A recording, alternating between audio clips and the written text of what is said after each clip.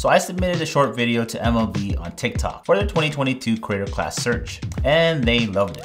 Your boy is an official MLB ambassador for the 2022 season. More on this on my IG and TikTok, so make sure to go follow me there if you want to follow my story throughout the season. So here's the video that I submitted.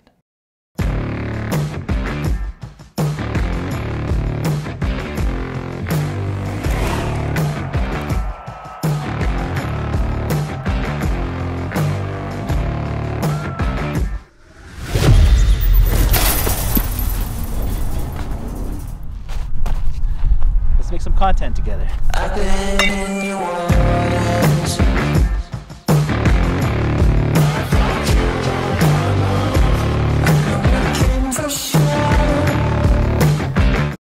So today's tutorial will be part one of this series, as I'll be going over different effects in separate episodes. Today I'll be showing you this scene here, where I threw the ball and made another version of myself catch it and fly across hitting the fence. That looked like a looked like Will Smith just slapped you.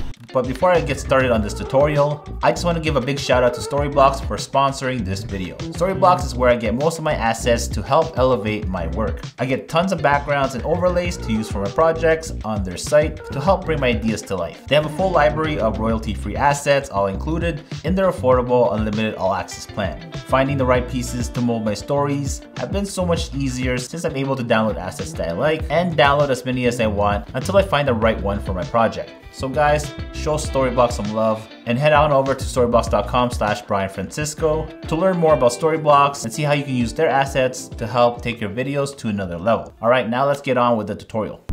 Uh, maybe if you go like a like a squat. I like smiley this. Is Yeah. that weird? No, not really. No. So we're going to need four different shots to make this scene possible. All of these scenes were shot on the baseball field. You can use a mirrorless camera or your smartphone, so just pick your weapon of choice. The other thing you will need is a tripod, and of course your baseball gear. If you don't have any, that's okay. What we really need is just a baseball, but if you don't have that either, I'll show you another way we can work around that later in the video. So I shot this vertically since it was made for TikTok, and here's how I did it.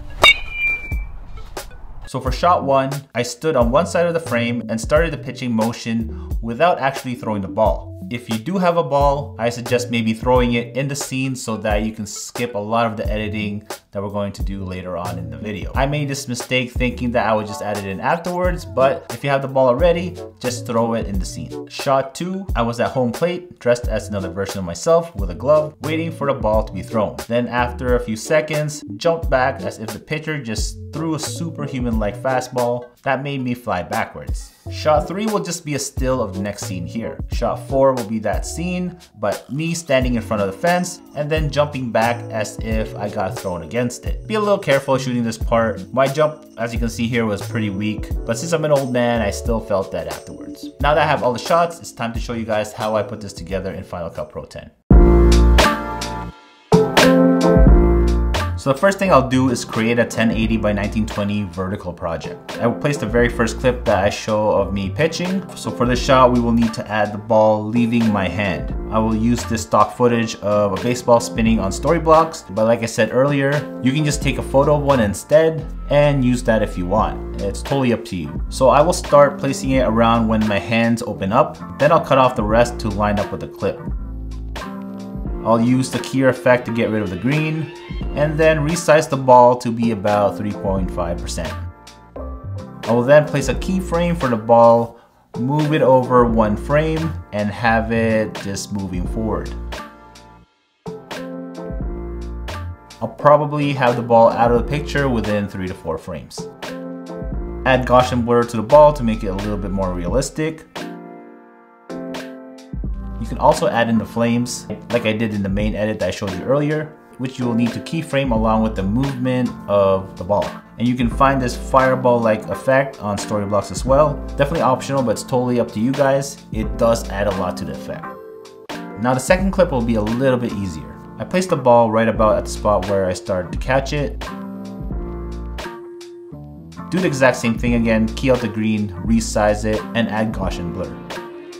Now place a keyframe at that spot, go one frame back and move it roughly around halfway through the frame, and then move it again a couple more times. Rearrange your keyframing afterwards if it starts to shift. We're going to speed up the part where I start to fly back by pressing R on your keyboard and then selecting that portion.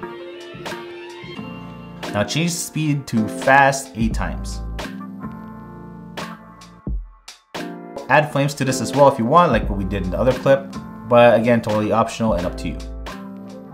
So now it should look something like this. So for the last part, we will insert that blank shot of the scene with nothing in it. Now we're gonna place the part where you jump back towards the fence about 15 frames in on top of the clip below. We're gonna stop it right about here before I hit the fence and freeze that frame there.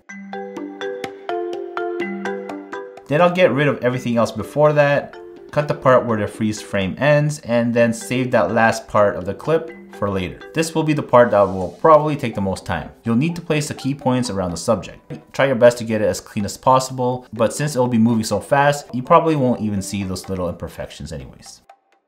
When you're done under the transform tab, we're gonna adjust the x-axis until that cutout is at a frame. Then you're gonna place a keyframe. Move one frame in and move your person into the shot. Move another frame in and have it around the same spot where it should be originally.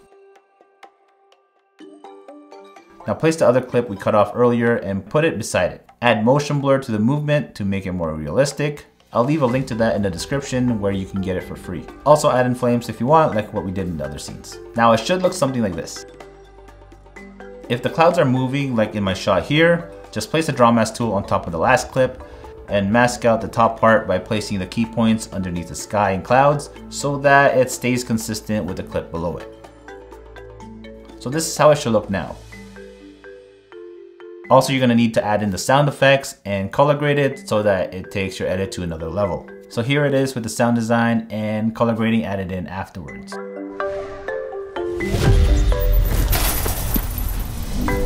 And thank you guys for watching and make sure to go check out Storyblocks at storyblocks.com slash Bryan Francisco to see if you can find anything there that will help elevate your next project. I'll see you guys in the next video.